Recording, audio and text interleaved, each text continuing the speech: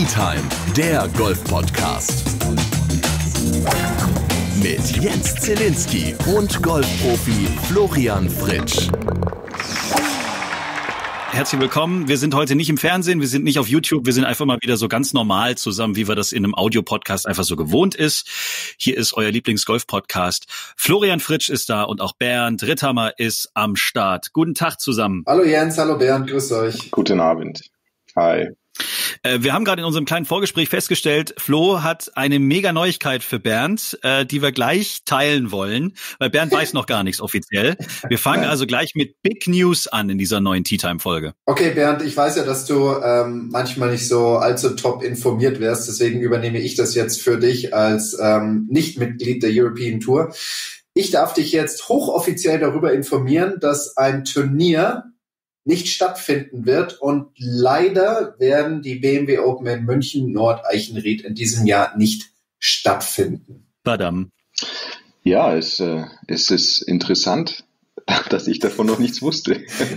also wir, wir, wir haben ja, wir haben ja in den letzten Folgen bereits spekuliert und ich glaube, es ist, es war, es war natürlich abzusehen.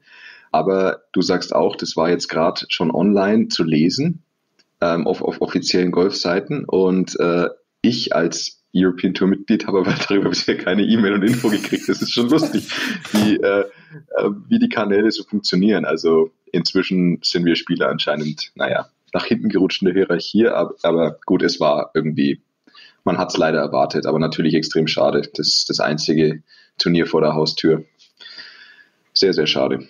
Aber gut. Ja, ja, ja. das ist allerdings richtig. In der letzten Folge haben wir noch drüber äh, gesprochen, über die letztjährigen BMW International Open. Da wurde ja äh, Frust trinken im P1, ähm, weil alle irgendwie nicht den Cut geschafft haben, fabriziert. Das umgehen wir aber damit auch in diesem Jahr. Also vielleicht kann man dem Ganzen noch ein bisschen was Positives abgewinnen, um Gottes Willen. Wie ist denn das eigentlich normalerweise? Kriegt man da jede Woche von der European Tour einfach eine E-Mail in der aktuellen Zeit, äh, in der dann ganz genau aufgelistet wird, so sieht's momentan aus, äh, die und die Turniere werden verschoben, die und die Turniere sind abgesagt. Wie war bis jetzt die Kommunikation? Also bis, bis vor kurzem ähm, war, es, war es eigentlich so, wie du sagst, Jens. Wir hatten im Schnitt wahrscheinlich einmal die Woche eine E-Mail von unserem CEO, dem Keith Pelley. Und da wurde uns, da wurde eben über den aktuellen Stand informiert und es war eigentlich jetzt in jeder E-Mail so, dass weitere Turniere verschoben, also die meisten Turniere sind ja nach wie vor verschoben mhm. und nicht abgesagt, ähm, wobei sich die Absagen auch häufen und wenn man so, also man kann schwer glauben, dass eben diese ganzen verschobenen Turniere stattfinden können, weil uns einfach die Wochen dieses Jahr ausgehen. Aber es war eigentlich bisher schon so, dass wir da immer relativ aktuell informiert wurden. Aber jetzt das, wie gesagt, mit der BMW International Open zum Beispiel, das kam, also das stand bisher noch in keiner E-Mail. Ähm, wahrscheinlich wird vielleicht morgen mal eine kommen. Und, ähm, aber bis, also bisher war da, wurden wir relativ, relativ regelmäßig abgedatet, auch wenn das ähm, sehr, sehr vorsichtig gemacht wurde. Also sehr graduell, vielleicht anders als in anderen Sportarten, wo früher mehr abgesagt wurde. So passiert es bei uns im Golf sehr graduell, aber ist natürlich auch verständlich, weil die Verantwortlichen wollen versuchen ja trotzdem mit allen Möglichkeiten oder wollen halt einfach so lange wie möglich abwarten, ob man nicht doch irgendwie eine Chance sieht. Und deswegen ist es wahrscheinlich verständlich, dass jetzt nicht jetzt schon irgendwie alles bis Ende, bis September abgesagt wurde. Ja. Äh, sowieso hat sich ja seit unserer letzten Folge in der letzten Woche einiges getan. Ich äh, kann mich erinnern, wir haben Freitag die neue Folge rausgehauen und ich glaube Freitagnachmittags hat dann Flo schon die erste WhatsApp in die Runde geschickt, dass Baden-Württemberg entschieden hat, dass Profi-Golfer tatsächlich ab letzten Samstag schon trainieren durften, dürfen, Schrägstrich. Wie, wie war das jetzt in den letzten Tagen? Flo durfte trainieren, du Bernd in Bayern nicht oder wie ist das jetzt? Ja. Genau, richtig. Also Baden-Württemberg hat eine Sondergenehmigung erlassen, die startete mit den Fußballern letzte Woche am Dienstag und unsere, boah, jetzt muss ich es richtig hinkriegen, unsere Arbeitswirtschafts- und irgendwie Häuseraufbauministerin, Häuslebauerministerin Eisenmann ähm, hat natürlich gesagt, okay, wir wollen das nicht nur auf die Fußballer beschränken sollen, sondern alle Sportler sollten keinen Wettbewerbsnachteil haben. Und deswegen ähm, wurde nach einer Regelung gesucht, wie man das auch auf die Golfer ausweiten kann, weil wen, welche, welche Gruppe de definierst du da? Berufsgolfspieler, Nationalkaderspieler, ähm, erste Liga, zweite Liga. Das ist ja bei uns auch irgendwie schwer, weil wir ja keine Profi erste und zweite Liga Mannschaften haben, sondern eigentlich nur Amateurmannschaften, ja. Und wenn wir jetzt den Nationalkader nehmen, dann sind mindestens zwei Drittel der Spieler in dem Nationalkader halt Amateure und keine Berufsspieler. Das heißt, dort würde man, jetzt bin ich mal richtig böse, äh, vielleicht die Falschen irgendwo ähm, sage ich mal, mit einer Erlaubnis ausstatten. So und da gab es dann diese diese Erlaubnis, die ähm, auch Berufsgolfspieler, Vereins- und ähm, Verbandsunabhängig sind, ähm, mit reingenommen wurden, dass auch die trainieren dürfen. Das wurde natürlich sehr heiß diskutiert, als es rauskam, weil die Headline war jetzt natürlich nicht so differenziert dargestellt, sondern mehr so ähm, Pros dürfen wieder trainieren und dann wurde das halt extrem ja, wie soll ich sagen, also es war schon 80-20 für die Leute, die gesagt haben, das ist doch unfair, das ist doch nicht richtig, entweder alle oder keiner, das kann ja wohl nicht angehen. Und es wurde sehr, sehr negativ diskutiert von der deutschen hm. Golföffentlichkeit. Wenn ich, man, darf ich da mal kurz reingrätschen? Ja, gerne. Das ist ja eigentlich ziemlich lächerlich, finde ich. Also die Leute, die das nicht verstehen, dass, dass man die Golfplätze noch nicht offen hat, ähm, ist eine andere Thematik, da kommen wir, glaube ich, später darauf zu sprechen nochmal. Aber jemand, der nicht, also der das unfair findet, dass ein Profi wieder trainieren darf, was, ich meine, das ist unser Job, hallo, und aber er selber seinem Hobby nicht nachgehen darf. Also da habe ich leider auch gar kein Verständnis dafür. Also für Amateure, genau. die so denken. Die andere Sache ist grundsätzlich Golfplätze wieder öffnen wegen dem geringen Risiko, aber das, das ist was anderes. Aber das wollte ich nur mal kurz, musste ich jetzt schon mal kurz loswerden. Ja, also es gibt aber auch tatsächlich den einen oder anderen Hobbygolfer, der es tatsächlich gar nicht gerafft hat. Ich habe gelesen, letzte Woche hat die Polizei in Köln tatsächlich einen Spieler mit drei Gästen äh, vom Platz geholt. Das Green Fee hatten sie tatsächlich in Umschläge in den Briefkasten geschmissen und der Typ hatte drei Wirklich? Kumpels, ja, drei Kumpels eingeladen, drei Gäste, die Green Fee äh, bezahlen mussten und äh, die haben dann einen Viererflight äh, hingekriegt und haben eine Runde gespielt und ich glaube an Loch 12 oder so stand da eine Streife und hat dann gesagt. Leute, alles okay bei euch und äh, wirklich passiert. wahrscheinlich haben, sie, wahrscheinlich haben sie auch noch Scramble gespielt, dass hier dann noch die gegenseitig die Bälle anfingert. Wahnsinn. Also völlig bescheuert, die Leute. Echt, haben echt einen an der Waffe. Okay, sorry, Flo, ich wollte dich nicht unterbrechen. Kein Problem. Nee, allerdings bei uns in Baden-Württemberg ist es halt jetzt möglich. Die ähm, Ausnahmeregelung spricht ganz klar von Bundeskaderathletinnen und Athleten sowie paralympische Bundeskaderathleten und Athleten, die an Bundesstützpunkten der Spitzenverbände des Sports trainieren. In dem Fall ist mhm. halt St. Leon Roth der einzige deutsche Bundesstützpunkt. Ja, und deswegen darf eigentlich jeder, der im Nationalkader ist, dort trainieren. Dann ausgenommen sind Profimannschaften der ersten und zweiten Bundesliga aller Sportarten. Ja, das heißt also, auch die Handballer dürften jetzt eigentlich trainieren oder Tischtennisspieler oder was auch immer. Und unter Punkt drei steht selbstständige Vereins- oder Verbandsungebundene Profisportlerinnen und Sportler ohne Bundeskaderstatus auf, auf unsere Sportart bezogen, das wären halt dann die ganzen Golfer, die eben nicht im Kader sind, die dürfen auch trainieren. Die Erlaubnis spricht ganz klar davon, dass alle Golfplätze als möglicher Trainingsort in Frage kommen. Dies muss aber von dem zuständigen Gesundheitsamt erlaubt werden und am Ende hat natürlich auch noch der Golfplatz selber durch sein Hausrecht noch ein Sagen darin, ob das auch tatsächlich stattfinden soll. Okay, also unter euch Profis dürfte aber jetzt Bernd sich morgens um fünf in München ins Auto setzen, nach St. Leon Roth fahren, um dort zu mhm. trainieren. Ja.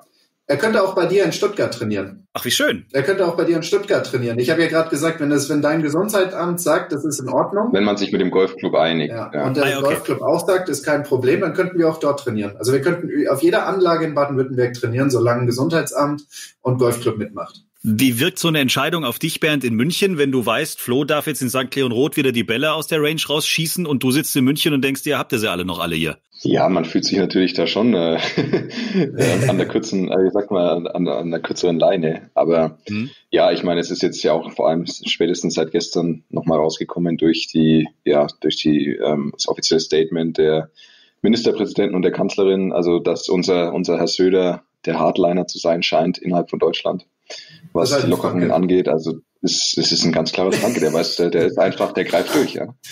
ähm, und äh, also man kann das ja gut oder schlecht finden, aber natürlich ist es jetzt gerade ein bisschen ungünstig für mich persönlich, ähm, dass ich eben gerade hier lebe, wo also gefühlt, es hört sich, also und es ist ja, es wurde ja auch irgendwie bisher noch gar nichts in Aussicht gestellt. Also ich habe jetzt noch nicht gehört, ja, ich meine, Österreich hat jetzt ja bekannt gegeben, ab 1. Mai Golfplätze wieder offen. Ja. Ähm, alle und ich habe es jetzt nicht so genau verfolgt, aber ein Datum gibt es jetzt noch nicht ähm, hier in Bayern, das auf Golfplatzöffnungen hoffen lässt. Also natürlich hoffen wir trotzdem dann wenigstens irgendwie in zwei Wochen oder so Anfang Mai weil man natürlich schon, wir haben es ja auch schon häufiger diskutiert, man kann die Gefahr natürlich da schon sehr, sehr begrenzen. Thema ähm, oder Stichpunkt skandinavisches Modell hatten wir ja das in der letzten Folge besprochen, äh, wie man es machen könnte, maximal Zweierflights, alles ist geschlossen, man darf nichts anfassen. Und ähm, oder zumindest, wie gesagt, ähm, dass man sagt, man macht es wie in Baden-Württemberg, dass Profisportliche trainieren dürfen. Ich meine, der FC Bayern darf auch wieder trainieren, aber der FC Bayern ist halt der FC Bayern, ne? Ja, die, der FC Bayern äh, ist super. Die, die dürfen halt die dürfen vielleicht so einiges, was fragwürdig ist. ähm, und deswegen ist das nicht vergleichbar. Aber natürlich denkt man sich schon, also ich meine, wieso darf ich hier als Profi ähm, meinem Job nicht nachgehen, wenn ich tatsächlich dann ja wirklich eigentlich null Risiko darstelle?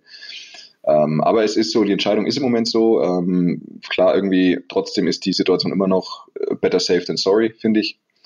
Ja. Ähm, und man muss, wie gesagt, jetzt, wenn wir gerade schon von neuen Absagen, von Turnierabsagen geredet haben, ich meine, die Zeit, es ist immer noch wahnsinnig lange Zeit ohne Turniere. Also wir reden jetzt schon Aktuell von Juli. Ja Mitte, Anfang Juli. Ne? Wir sind ja schon, genau. Ähm, und wahrscheinlich ist es nicht immer noch nicht das Ende. Also und man muss wirklich, das hört sich so traurig an, aber ob ich jetzt wieder trainieren anfange oder in drei oder vier Wochen spielt, de facto fast kein, also weil meine persönliche Erfahrung ist, natürlich macht dich Training besser, aber Training ohne ein klares Wettkampfziel, mein Training musste immer ähm, wie sagt man, zielweisend sein. Ich musste immer wissen, okay, ich trainiere jetzt, weil ich in, keine Ahnung, und es kann ja auch eine längere, aber weil ich in vier oder fünf Wochen ziehe ich da auf und da will ich das und das verbessert haben. Und ich finde, wenn du diese, wenn man diese regelmäßigen Turnierproben, würde ich sie fast nennen, nicht hat, dann bekommt, dann wird das Training irgendwann so zum Selbstzweck oder verkümmert zum Selbstzweck und das also ich weiß nicht, also ob ich jetzt, ich sag's mal so, ob ich jetzt drei Monate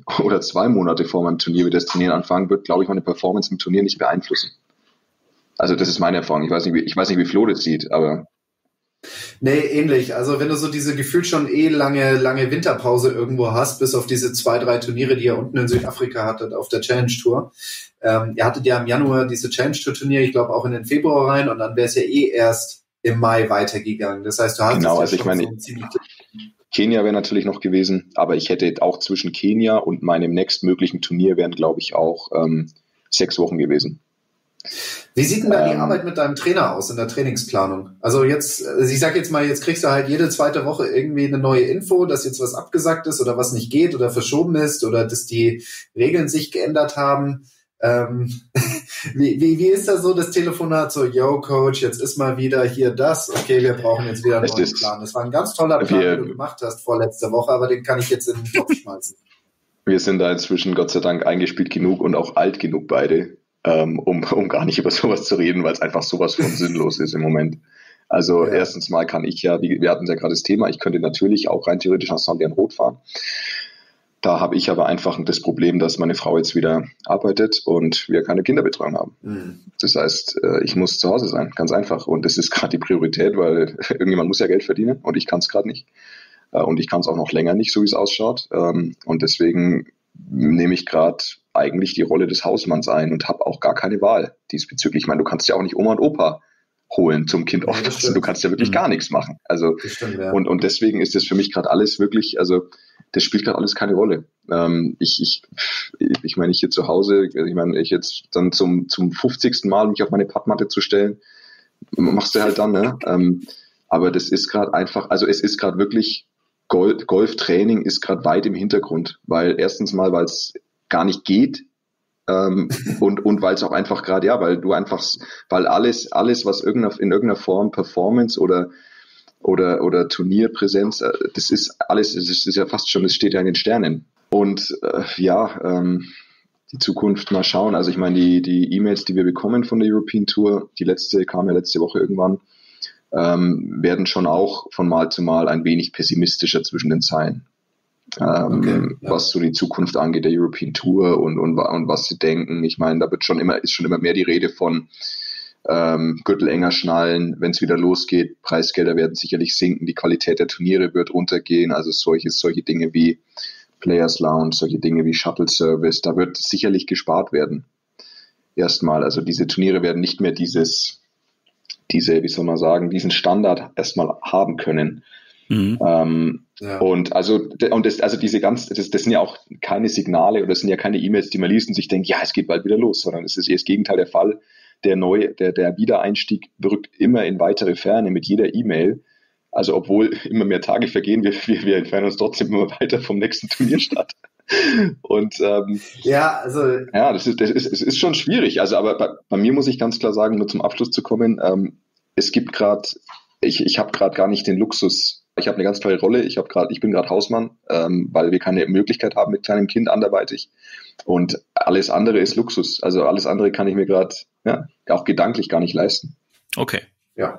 So, dann haben wir eigentlich schon ein paar komische Sachen heute abgehandelt. Komisch erstens für Bernd war, dass Flo schon vorher wusste, dass die BMW International Open nicht stattfinden. Das zweite, ja, was jetzt auch erklären. komisch klingt, ist, du kannst es erklären. Ich kann das erklären. Dadurch, dass sie in Großbritannien jetzt alle in, äh, sage ich mal, Vorlaufing, also Kurzarbeit Strich Zwangsurlaub geschickt wurden, ah, bin ich jetzt, jetzt der offiziell für Bernd eingeteilte Kommunikations Mensch. Ah ja, Inspektor, mhm. Inspektor Fritsch. Ja, genau, richtig. Also du kriegst jetzt durch mich alle Infos. Das ist nett. Okay. Ich bin da für dich, Bernd. Super. Danke.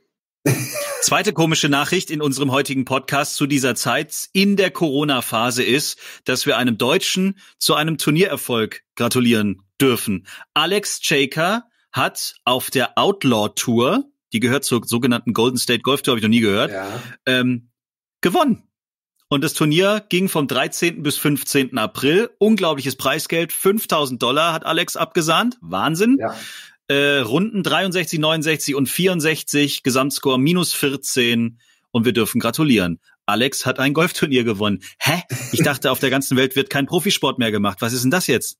Ja, das, das hört sich echt komisch an. Ähm, ich glaube, wir können aber auch noch zwei anderen Deutschen gratulieren, und zwar die Paul-Brüder, Jeremy und Yannick. Das sind, glaube ich, beides äh, Spieler, die unter Ted Long aus Mannheim trainieren. Von dort kommen die beiden auch. Seit Ewigkeiten in Mannheim, Jugend und auch im Herrenbereich gewesen, dann drüber rüber aufs College und seitdem sind sie auch dort drüben. Diese Outlaw Tour ist eine von, von ganz, ganz, ganz, ganz vielen kleinen Satellite Tours. Ich glaube, die bekannteste bei uns hier drüben ist so die Hooters Tour. Das ist auch so eine ähnliche. Und von denen gibt es einfach ganz, ganz viele für, ähm, sage ich mal, Profis, die halt noch nicht auf der Corn Ferry Tour oder auf der PGA Tour spielen die ist halt sehr regional auf Arizona und New Mexico beschränkt und auch die müssen unter strengen Hygienevorschriften spielen. Also es gibt zum Beispiel. Ja, ja.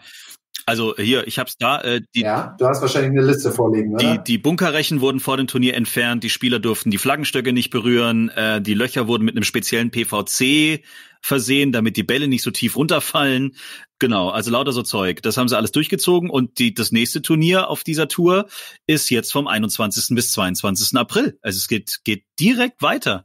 Ich verstehe das aber nicht. Wie, wieso gibt's dann doch irgendwo irgendwelche Touren, die dann doch ganz normal äh, äh funktionieren? Und, dann könnte wunder, willst du sagen, dass es dich wirklich wundert, was in Amerika so passiert bei der guten Nein. Führung? Ich wollte jetzt Führung, nur nicht so also schnell bei, die Kurve. Der, bei der strukturierten Führung. It's great. It's great. It's a great tour. It's great. It's the biggest tour also ich glaube, es ist äh, jetzt jetzt mal um ein bisschen Inhalt reinzubringen. Das ist halt einfach dem föderalen System in den USA geschuldet. Ich meine, bei uns haben wir ja genau das Gleiche. Alles klar. Ja, also der Bernd, der hockt jetzt bei sich und kann nichts machen und ich bin hier und darf in St. Leon Roth Golf spielen. Und drüben ist genau genau das Gleiche. Ja.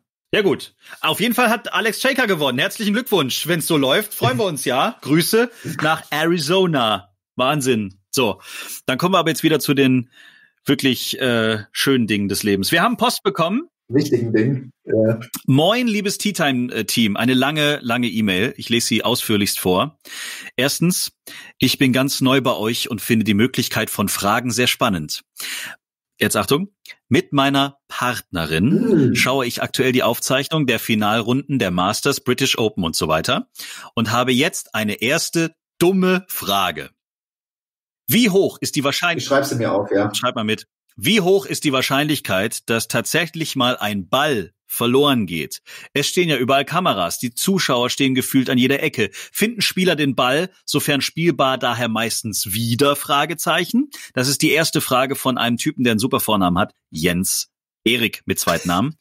Vielleicht wollen wir erst die erste Frage beantworten. Das, davon gehe ich aus. Coole Typen sind immer Stuttgart-Fan. ähm, also wollen wir erstmal die erste Frage uns genauer angucken. Also kann tatsächlich auf einem Profiturnier ein Ball verloren gehen? Fragezeichen. Also auf unserem Kontinent ja. Le leider öfter als uns lieb ist, oder Bernd?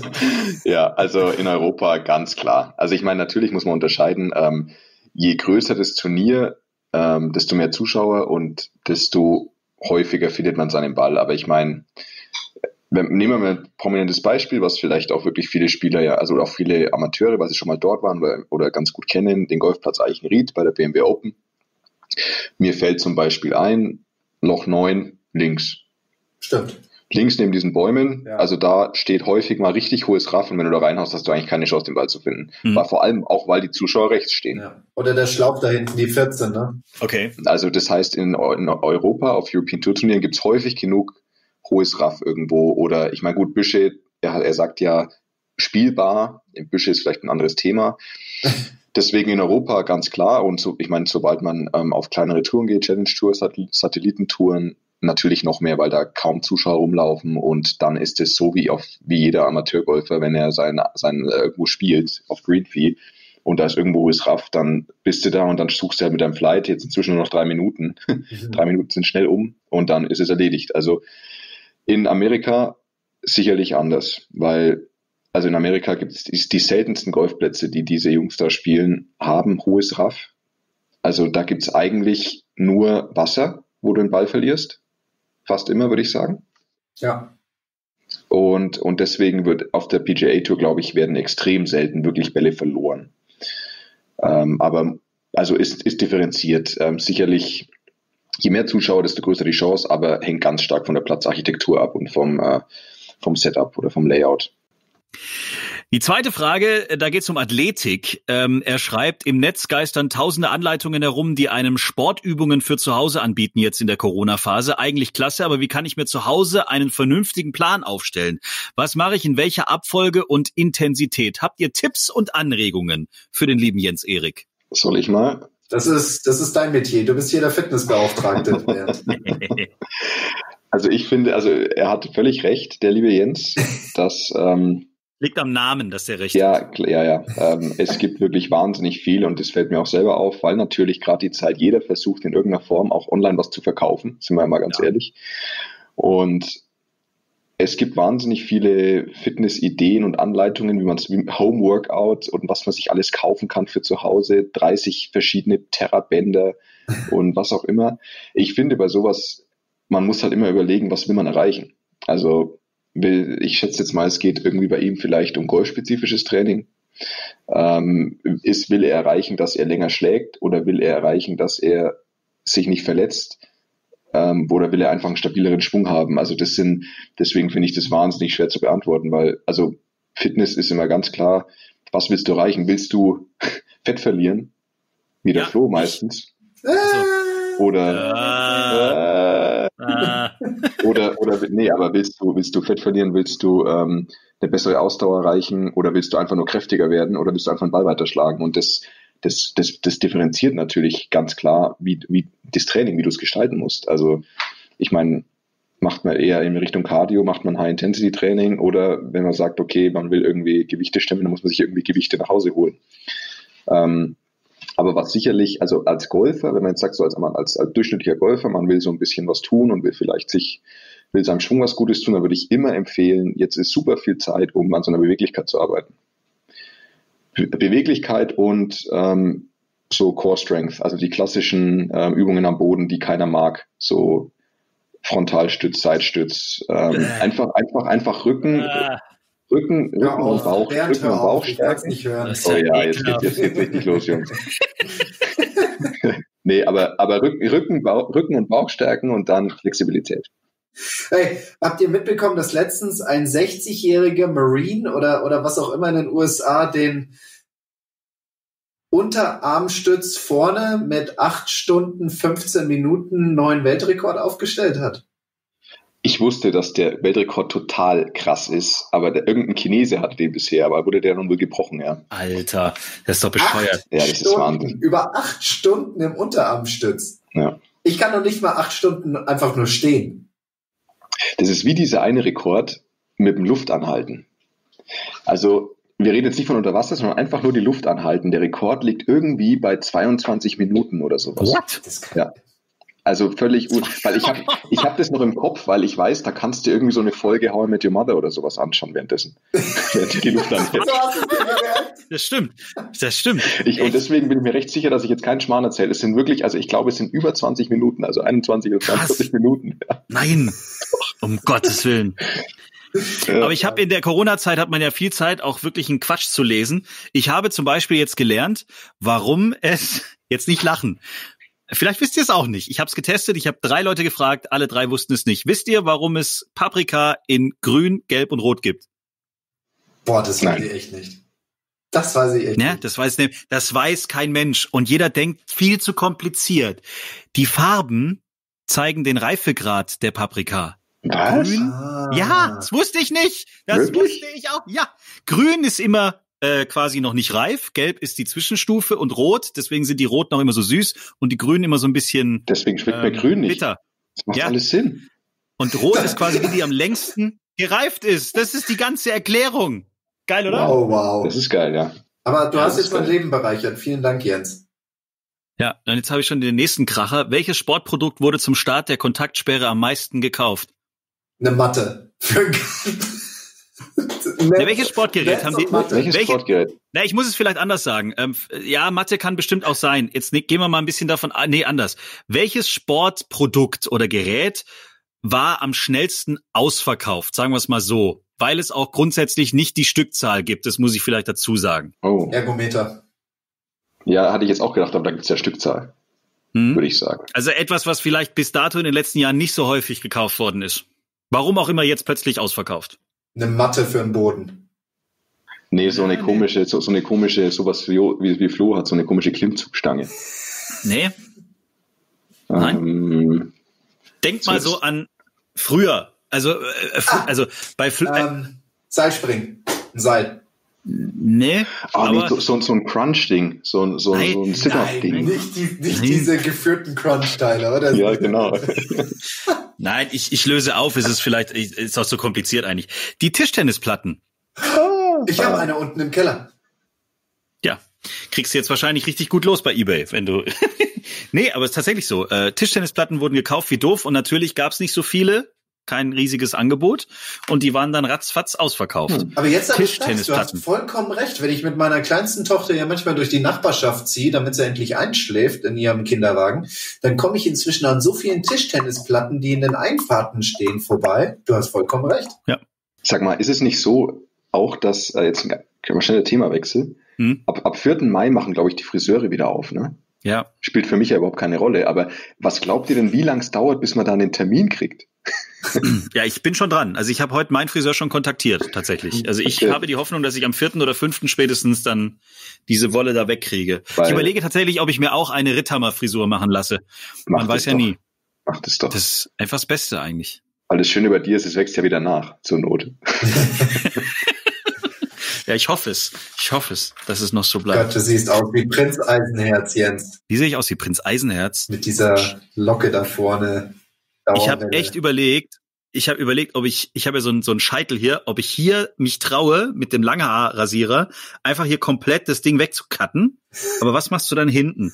Weil hinten siehst du nichts und hinten, das sieht alles scheiße aus dann. Deswegen dann doch lieber Prinz Eisenherz. Ähm, die Players Playlist müssen wir noch bestücken die einzige Musikplayliste auf Spotify von Golfern für Golfer mit vielen Songs. In jeder Folge von Tea Time, dem Golf-Podcast, haben wir neue Songs draufgepackt. Ähm, viele lustige sind drauf, viele nachdenkliche, viele emotionale, viele romantische, viele äh, harte, viele softe, viele schnelle, viele langsame.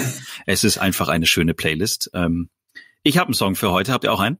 Oh, mir ist gerade ein, mir ist gerade ein ganz cooler eingefallen. Oh wow. Hau raus. Ja, dann macht ihr beide mal. Ich brauche noch eine Minute. Weil ich bin ja immer, ich bin ja immer ein Fan, dass es zur Thematik passt, wie ihr wisst.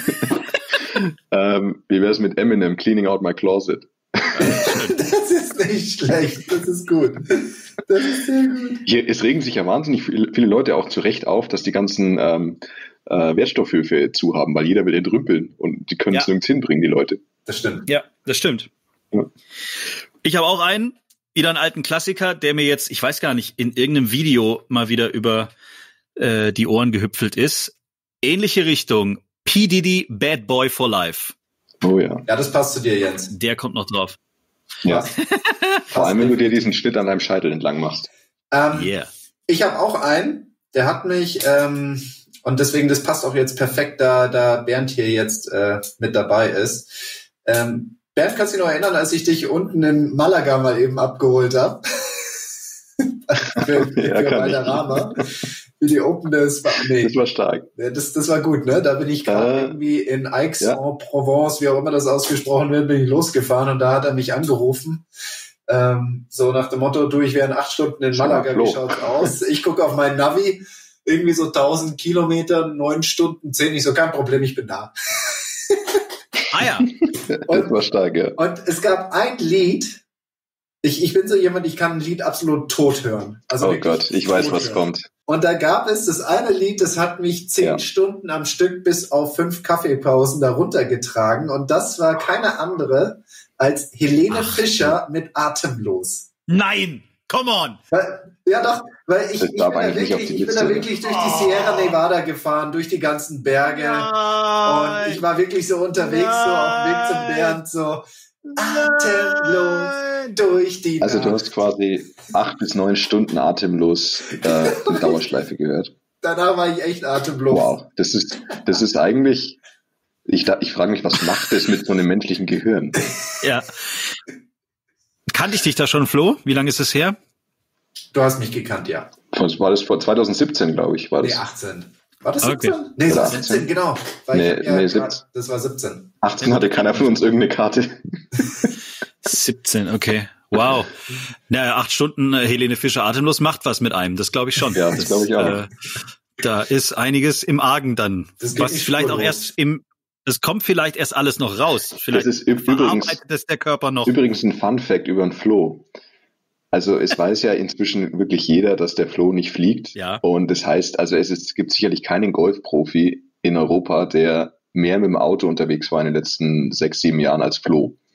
Und auch wirklich lange Strecken alleine zurückgelegt hat. Und jetzt rat, man müsste ja meinen, dass jemand wie Flo eine unfassbar lange und, und ähm, ausführliche Playlist hat auf dem Handy. Und, und wahnsinnig viel Musikauswahl in seinem, in seinem, in seinem BMW, wo auch noch super mit Bluetooth, Spotify, wo alles einfach oh ist. Gott, ja. Seine Playlist besteht original aus vier Liedern. Atemlos. Also du hast ja wirklich, also das ist ja Wahnsinn. Also ich, ich weiß gar nicht, wie man das aushalten kann.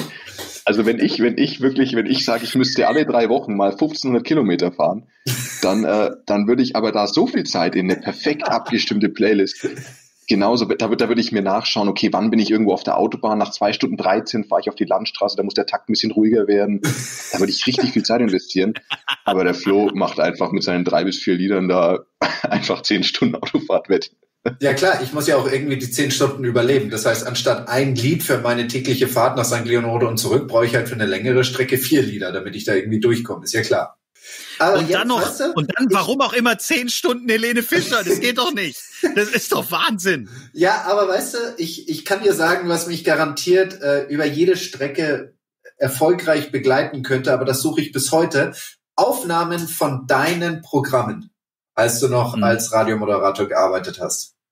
Ja, Da gibt's möchte ich nicht auf mal Spotify. Jens Zelinskis äh, Best of, hätte ich da mal gerne. Das, das wäre sehr interessant, ja. Ja. Es gibt es gibt's tatsächlich, aber das ist im Giftschrank. Kein Scheiß. ähm, aber ich habe tatsächlich äh, letztes Mal die meine erste Hitparade gefunden, die ich moderiert habe, ähm, mit meinem Vater zusammen Oh, von 1983. Ähm, Oh, Man versteht mich nicht, ähm, aber ich bin da schon eifrig mit am Start. Denn, äh, 1983 ja. hat es mir noch gar nicht gegeben, übrigens. Tja, da gab's schon die ersten Kassetten von mir. Die guten alten TDK 90er Kassetten. Mein lieber Scholli. Und da war auf Platz eins, kann ich jetzt, weiß ich noch, es war, glaube ich, dann die Titelmelodie Enid Blyton, die fünf Freunde oder so, weil ich das damals dann wahrscheinlich angefangen habe zu hören. Irgendwie sowas. Irgendeine Kinderkassette, keine Ahnung. Aber später kamen dann diese ganzen Hits, Hits, Hits von der neuen ich deutschen glaube, Welle. ich, glaub, ich glaube, meine, ich glaube, meine erste CD, die ich jemals hatte, war irgendwie Bravo Hits 95 oder so. Wow. Ja, genau. Ja. The Dome oder Bravo. Ich weiß noch, da, da war es gut, aber ich, ich glaube, oder der, der, auf jeden Fall war auf dieser ersten CD ähm, von Scooter How Much is the Fish drauf. Das war deine Vielleicht war- erste vielleicht, CD. Vielleicht, vielleicht war es auch 97 oder 96 oder wow. so. Krass. Das ist Ja, übrigens okay. eine Frage, die wir definitiv beantworten sollten. Wie viel ist, der, wie viel kostet der Fisch? Das, stand, das haben wir doch gegoogelt, wir zwei, als wir in Tschechien waren letztes Jahr. Das Weißt du es nicht mehr, Flo? Ich weiß die Antwort nicht mehr. Wir haben das, im, wir haben das und da, da gibt es eine Antwort. Was kam Ich raus? weiß es nicht mehr. Nicht so, nicht, war, nicht so, war nicht so teuer. Ich glaube, das lösen wir einfach in der nächsten Folge auf, wie viel der Fisch gekostet Wir gucken hat. mal, ob HP Baxter vielleicht für die nächste Folge zur Verfügung steht, dann können wir ihn selber fragen. ja, Ja. genau. Ja, Konzer also Konzerte gibt es sicherlich nicht zurzeit. Ja, eben, wir haben auch ein bisschen Zeit. Genauso wie die Fantas. Wir könnten jetzt Hausmarke nochmal anhauen, ob er jetzt endlich mal Zeit hat. Die haben heute auch rausgehauen, logischerweise, dass ihre große Stadiontour auch erstmal verschoben wird. Ich hatte Karten, aber sie Ach, bleiben ja cool. gültig, von daher gesehen alles gut. Sehr schön. 30 Jahre Fanta 4 dieses Jahr. Das ist ein großes Festival. In, im Stadion. Zum allerersten Mal. Beim Oh. VfB, die haben ja auch eigene Loge beim VfB, gell? Da kann man reingangen. Ja, seht ihr mal. Oh. So. Kannst du Oh. bitte in der nächsten Folge mit dem Dialekt äh, moderieren? Wir müssen halt Welche Folge Pop- machen. Die Dialektfolge. Welche- in seinem Dialekt Welche. Welt, welche Weltband hat in der Allianz Arena eine Loge? Hm? Weiß ich nicht. Ja, keine. So. Achso. In Stuttgart, die Fantas haben eine eigene Loge. Ja, guck, Weil sie zu, in der Allianz Arena, da kann man sich nicht einfach so nur mit Geld einkaufen. Da muss man auch Charakter und Stil haben. Das wissen Da muss man Charakter und Stil haben. Ist okay. Wir sprechen nicht drüber. Da habt ihr eh, also haben wir eh immer totschlagende Argumente auf beiden Seiten. Geht sowieso nicht voran. Guti, ähm, dann haben wir schon einiges wieder besprochen für diese Woche Ja. ähm, und hören uns dann hoffentlich nächste Woche wieder. Dann haben schon die ersten kleinen Läden wieder auf in Germany. Ähm, Ja. Ich bin sehr gespannt, wie das wird. Ich bin echt ein bisschen, also in, in Österreich hat's ja anscheinend, ist ja gar nichts passiert, irgendwie, weil die Leute dann doch noch irgendwie Schiss hatten, in irgendeinen kleinen Laden reinzugehen. Also da ist ja erstmal nichts Großes passiert. Ich bin gespannt, wie das nächste Woche in Deutschland sein wird. Ich glaube, die ersten, die so richtig überrannt werden, sind tatsächlich die Friseure. Das glaube ich echt, Ja. dass da jetzt dann voll die Panik auf Ter Termine ausbricht. Alles andere, glaube ich, wird sich erstmal in Grenzen halten, habe ich so das Gefühl. Ähm, Wahrscheinlich. Aber ja. Das Hammers. Das war Tea Time Nummer 29. Nächste Woche feiern wir wieder einen kleinen Geburtstag, Herr Fritsch. Dann hätten wir schon Folge 30, mein lieber Herr Ui. Gesangsverein. Wir rasen auf äh, die nächsten großen Festivitäten zu. Wir überlegen uns, ähm, wie wir das feiern nächste Woche. Vielleicht mit einem kleinen ähm, Corona. Ah, was für ein Ah. schlechter Witz nach all diesen Wochen. Ja, der war echt schlecht. Das war also. Ich bin noch nie der Spontane gewesen. Ich musste früher auch immer die Gags aufschreiben. Bernd, sollen wir uns einen anderen Moderator holen? Ja, ich denke, es ist an der Zeit. Ja, schon, Ja. Frag doch Helene, ob sie Zeit hat. Dann könnte auch. Für, für Könnte einen die Folgen 10-Stunden-Podcast. Genau, dann gibt's zehn Stunden Tea Time mit Helene Fischer, um Gottes Willen. Naja, aber das Cover des Podcasts sähe wahrscheinlich geil aus. Das muss man Das stimmt, zumindest ja. mal sagen. Solange wir nicht drauf sind. Nee, dein Haar, dein Haar hat aktuell echt eine, also ich muss sagen, das, vor allem wenn, wenn man euch beide nebeneinander tut, also Bernd und, und, und, und dein Kopf Jens, also Bernds und Jenses Kopf nebeneinander, da, das ist dann wie dieses Yin-Yang-Zeichen da. Das ist schwarz und weiß. Also das ist, glaube ich, schon so eine Folge von diesem Helene War, Fischer war, das jetzt, war, das jetzt ein Ding da. Kompliment, war das ein Kompliment oder ein krasser Diss eigentlich? Das, das überlasse wollte ich ich jetzt euch. eigentlich sagen. Das überlasse ich euch. Ja. Super. Okay, Naja, gut. egal. Wir denken drüber nach, hören uns nächste Woche wieder. Danke für heute. Folgt uns auf Instagram, da halten wir euch auf dem Laufenden. Und wenn sonst noch irgendwas ist, schreibt uns, äh, macht irgendwas, aber bleibt vor allen Dingen zu Hause und bleibt gesund. Bis zum nächsten Mal. Auf Wiederhören. Dito, Tschüss. dann. Ciao. Schreibt uns, liked uns. t-time.golf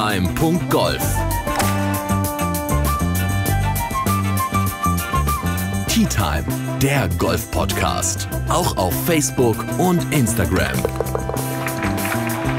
Tea Time.